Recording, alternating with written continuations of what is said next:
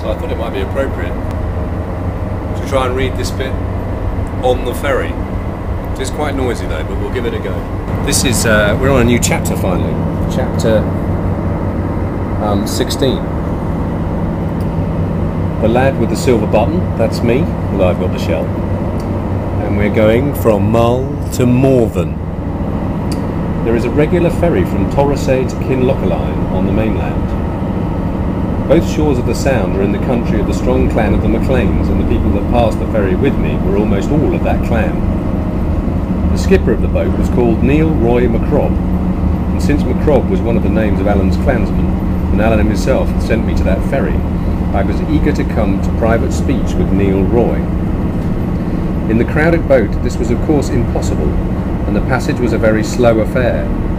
There was no wind, and as the boat was wretchedly equipped, we could pull but two oars on one side and one on the other. The men gave way, however, with a good will, the passengers taking spells to help them, and the whole company giving the time in Gaelic boat songs. And what with the songs, and the sea air, and the good nature, and the spirit of all concerned, and the bright weather, the passage was a pretty thing to have seen. But there was one melancholy part. In the mouth of Loch Aline, we found a great sea-going ship at anchor, and this I suppose to be at first to be one of the King's cruisers, which were kept along that coast both summer and winter to prevent communication with the French. As we got a little nearer, it became plain she was a ship, ship of merchandise, and what still puzzled me more, not only her decks, but the sea beach also were quite black with people, and skiffs were continually plying to and fro between them. Yet nearer, and there began to become to our ears a great sound of mourning, the people on board and those on the shore crying and lamenting one to another so as to pierce the heart. Then I understood this was an emigrant ship bound for the American colonies. We put the ferry boat alongside, and the exiles leaned over the bulwarks, weeping and reaching out their hands to my fellow passengers, among whom they counted some near friends. How long this might have gone on I do not know, for they seemed to have no sense of time, but at last the captain of the ship, who seemed near beside himself, in, and no great wonder, in the midst of this crying and confusion came to the side and begged us to depart. Thereupon Neil sheered off, and the chief singer in our boat struck into a melancholy air which was presently taken up both by the emigrants and their friends upon the beach, so that it sounded from all sides like a lament for the dying. I saw the tears run down the cheeks of the men and women in the boat, even as they bent at the oars, and the circumstances and the music of the song, which is one called Lochaber No More, were highly affecting, even to myself. At Kinlochaline, I got Neil Roy upon one side on the beach and said I made sure he was one of Appin's men. And what for no? said he. I'm seeking somebody, said I, and it comes in my mind that you will have news of him. Alan Breck Stewart is his name. And very foolishly, instead of showing him the button, I sought to pass a shilling in his hand. At this he drew back.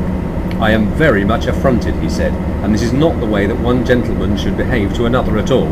The man you ask for is in France, but if he was in my sporran, says he, and your belly full of shillings, I wouldn't hurt a hair upon his body.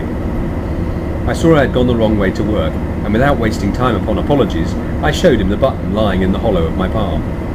Well, well, said he, I think you might have begun with that end of the stick whatever. But if you are the lad with the silver button, all is well. I have the word to see that ye come safe, and if you'll pardon me to speak plainly, says he, there is a name you should never take into your mouth, and that is the name of Alan Breck. And there's a thing that you should never do, and that is to offer your dirty money to a Highland gentleman.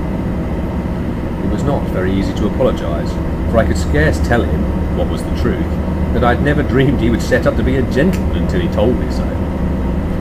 Neil, on his part, had no wish to prolong his dealings with me, only to fulfil his orders and be done with it, and he made haste to give me my route. This was to lie the night in Kinlochaline in the public inn, to cross Morven the next day to Ardgour, and lie the night in the house of one John of the Claymore, who was warned that I might come.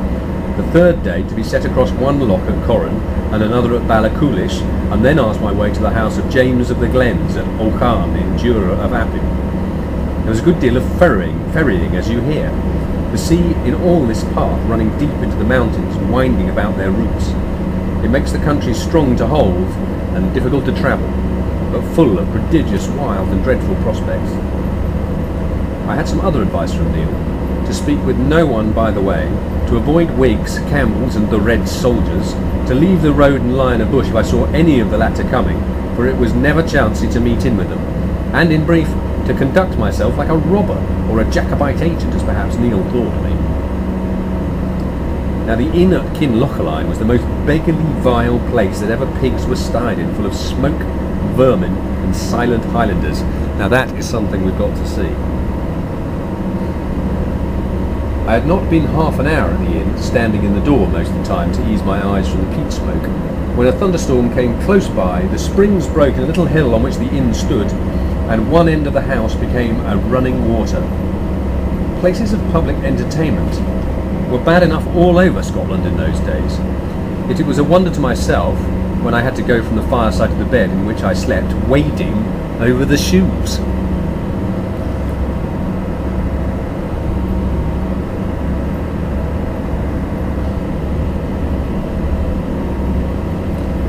So that's it for the um, 4th of July. We're about halfway across our crossing onto the mainland, where I guess it will be less wild, but maybe uh, not quite as primitivo.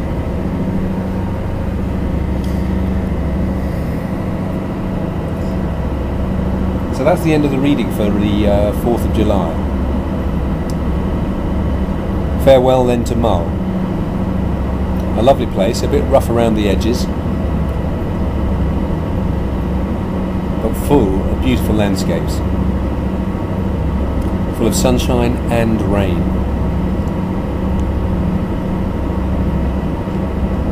So farewell then to Mull, a beautiful place of sunshine and rain. We started to get a bit more adventure now that we keep meeting characters, and there are more characters to come. Each day now we're going to bump into more and more people, there's going to be more and more action. In fact, there's going to be more and more to read, so squishing it into one whole day is going to be quite tricky as we come up to some of the key events. I may have to update you in sections during some days because there's so much going on. For tomorrow, it's really just a walk across Morven with a guy who's addicted to snuff. Uh, do you know anyone who's addicted to snuff?